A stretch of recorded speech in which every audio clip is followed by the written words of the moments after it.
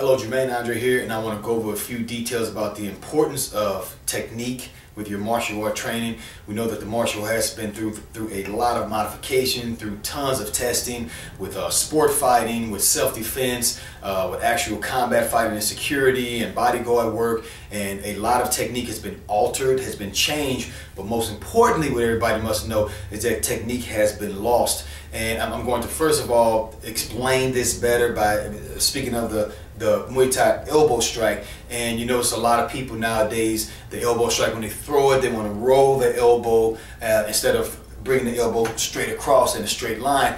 And this doesn't make sense. And you have to understand that technique is important because when you understand the technique of a martial art technique, you understand how to get the full benefit from it, including the power from your body and the science of how it's designed to operate.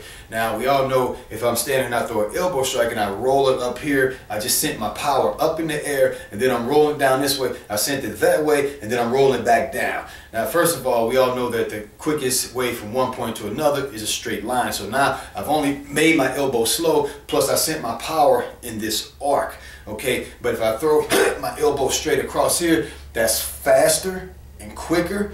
That allows me to hit with the point that I need to hit with, all right? Um, it also allows my power to generate in the direction I'm trying to send it because when I add my core and my hips, now I'm using all of this for power instead of just this muscle right here. So that's just a little bit of explanation and a demonstration of how important it is to make sure your technique is proper. Because if your technique is not correct, then you're not using that technique for the reason that it was intended to be used. And I also want to make sure that I'm hitting my target area, that I'm not just throwing this, throwing my strike and just trying to hit whatever it hits. The temple is the aiming area for this elbow. For me to get the most benefit from it, I have to throw it correctly. And what happens nowadays, people don't have the patience to learn the martial art technique properly, to strike the proper area, and then more importantly, even when they learn it properly, to allow their body to grow into the technique. You know, the more I practice this technique, my core becomes stronger, my balance becomes better, my footwork becomes better. That's one of the most important parts of any technique is